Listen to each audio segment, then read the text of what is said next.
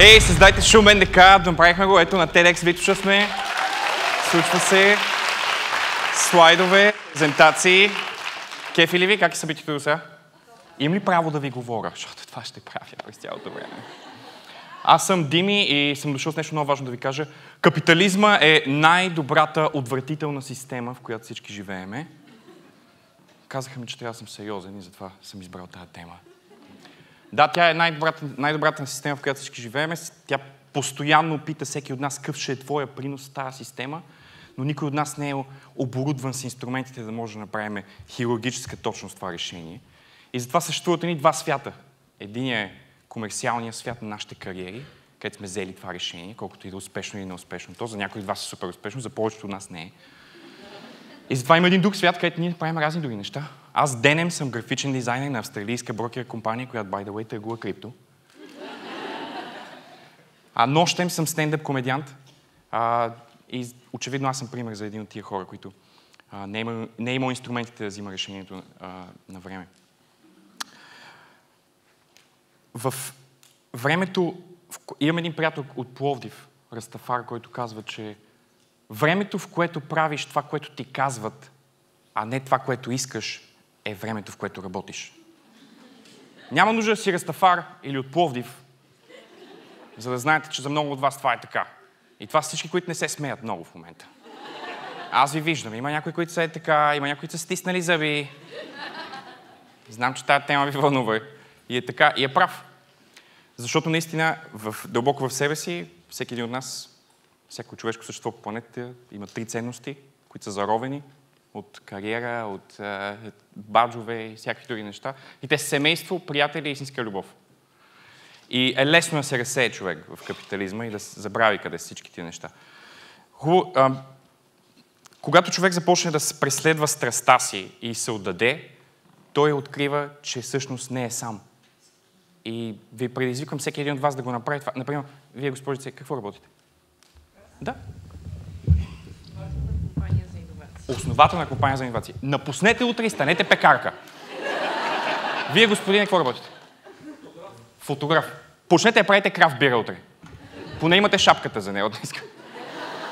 Не, не съм дошъл да ви кажа, че просто всеки от вас трябва да си напусне работа, за да си изпълни мечтите.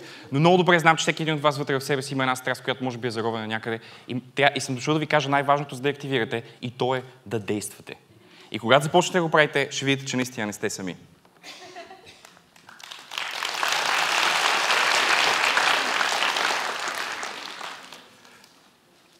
Когато аз го направих, аз открих, че в тези мазета, където ходих да правя стендъп, не съм сам. И се появиха разни други хора, които имат още по-голяма страст. А когато почнеш да играеш с хора, които, да, да се занимаваш и да играеш с хора около тебе, които са много добри, ти започваш също да изкарваш най-доброто от себе си и се заражда най-хубавата част на отвратителната система конкуренцията. И това ни дърпа напред. В България не е среда на оптимизъм, ние не посещаме. Когато някой ни пита как сме, ние му казваме. Не сме просто куртуази, ние му казваме. Ох, имам един тук вене, взето ме стягата, се почна втора работа да правя лекция на TEDx, бари ми скарам някакви пари да го правя. Между време жена ми се развежда с мен, защото мисля, че е бременна с трето дете и не е от мене. И ако каже това на чужденец, той тогава ще ви каже But the weather is so nice!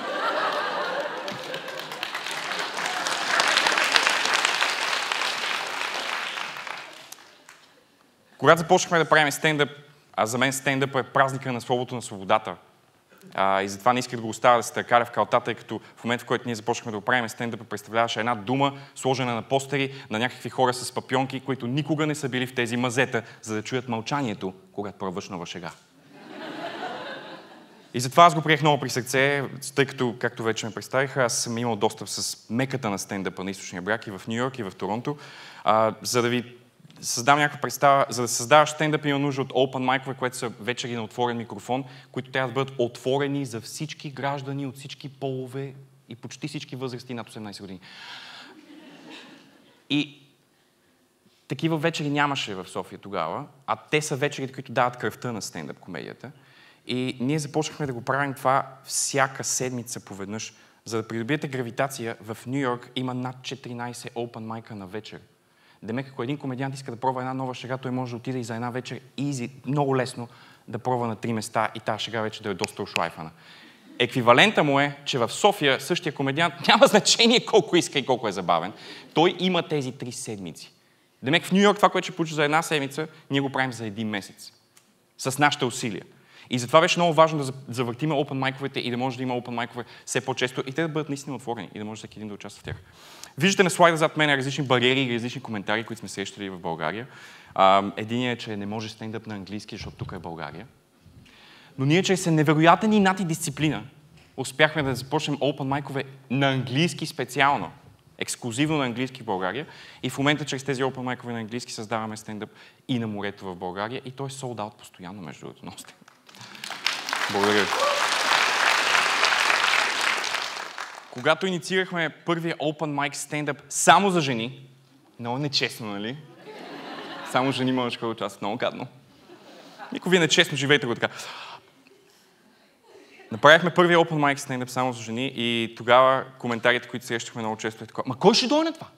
Това кой ще го гледа? Те жените забавни ли са изобщо? Не само, че са забавни, а най-големият стендъп, който се случва в България към днешна дата, се случва изцяло от жени, които са започнали от този Open Mic. И този Open... Видях някои мъже, които не пляскат в публиката и ще ви кажа, че ще има пак Open майкове само за жени. А, да, и, и не, само, не само че, а, че българските жени са по-забавни от мъжете комедианти, ако искате да, да го кажем така, ами те са и малко по-смели от нас. Защото първият български стендъп на, на английски, създаден в България, експортва на култура, която сме правили, е правен също от жена. И нейната работа не беше лесна, тя се казва Моника Найденова, защото тя е наполовина българка и наполовина сръбкиня и прави стендъп на английски в Белград. А ние не сме актори, тя няма как да излезе и се представи, хей, аз съм Моника, живе ли? Малко съм от България. Друго, което преборихме чрез Open Mic за, за жени, е, че той, даде, той започна огъня. Просто и той показа на а, жените, че те също имат сцена и че могат да излезнат и да се пробват и да усетят тръпката да правиш стендъп на живо, защото тя е нереална. Тя е като хероин. Веднъж като го пробваш, не можеш да се откажеш. Ще видите. И най-често срещания коментар, който срещаме в България е дали публиката изобщо го разбира този жанр.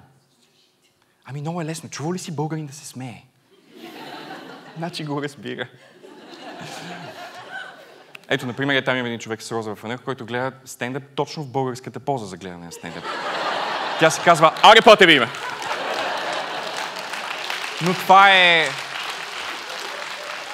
Песимизма е средата, която нас ни зарежда с, с енергия, да създаваме комедия.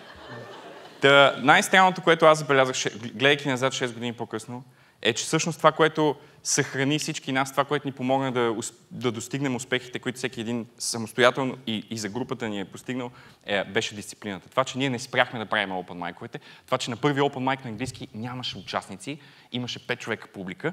На втор... Аз обаче не спрях да го правя. Знаех, че в това има потенциал и не се отказах. Пак го направих. На втория open майк на английски имаше втори участник, и малко повече публика. Майка ми също беше там и така седеше отстрани до мен и ми каже, кажи това за пижамата. и аз пак го направих. И не спирахме да го правим, и не спирахме да го правим. И най-вече комедиантите, които не спираха да излизат и не спираха да пробват нови шаги.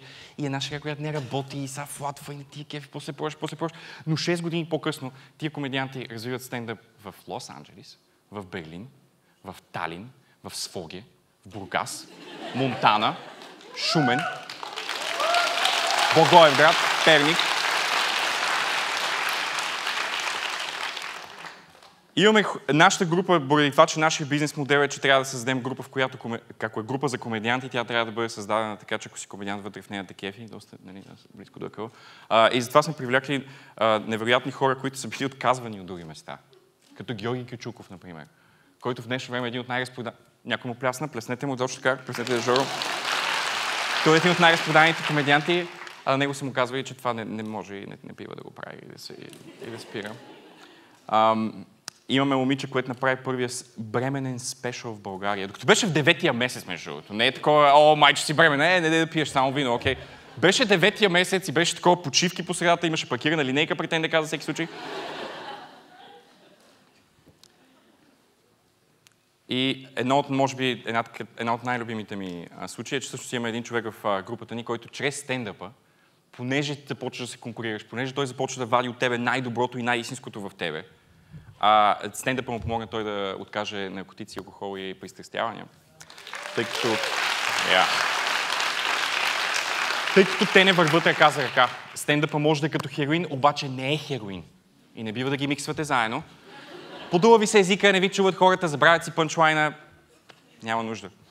Ам, друго, което исках да ви споделя, може би най-важното за мен лично, това, което ми доведе това да преследвам стендъпа и да се отдам изцяло на страстта си и просто да я полея с дисциплина. Защото в нашите кариери, в ония другия живот, където сме графични дизайнери и изтрейдваме финтек и гледаме чартове и така нататък, в него, може би това, което остава като вен диаграма за всички нас, е дисциплината. Това е което научаваме от него. Научаваме на дисциплина, защото всеки ден ходите на работа, нали?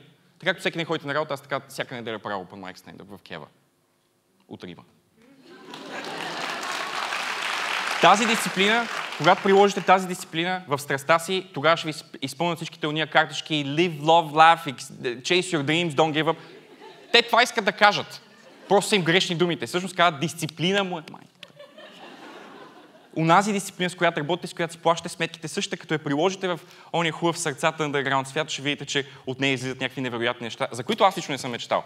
Например, следващата пролет ще видите, че нашата група участие беше избрана от американска телевизия, защото сме подписали дисклеймер, че не може да го обявяваме. Но те дойдоха хората за да ни отразят и да кажат, как така ние правиме стендъп в най-песимистичната държава в света.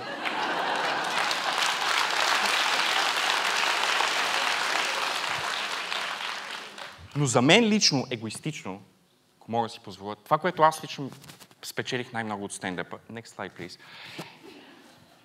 е, next slide, please, е моята съпруга. Покрай стендъп се познах с нея. И да, и сега имаме семейство. Имам син, който също излиза на сцената. Може да го видим.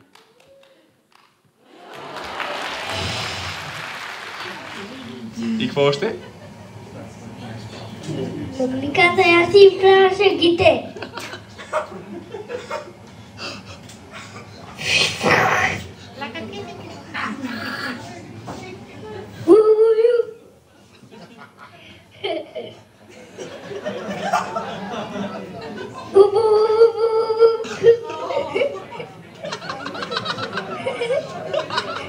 Шоуто започва. Браво! Шоуто започва. Тате, обичам те! И аз те обичам, тате!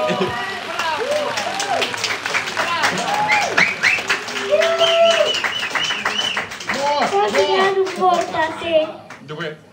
Браво, много го обаче. Браво, Ясен. Колебах се дали да ви пусна това видео или да пусна един лабрадор да тича просто по сцената, ако не е минало добре. Нямам повече експлуатация на сина ми. Много ви благодаря за вашето време. Обичайте се.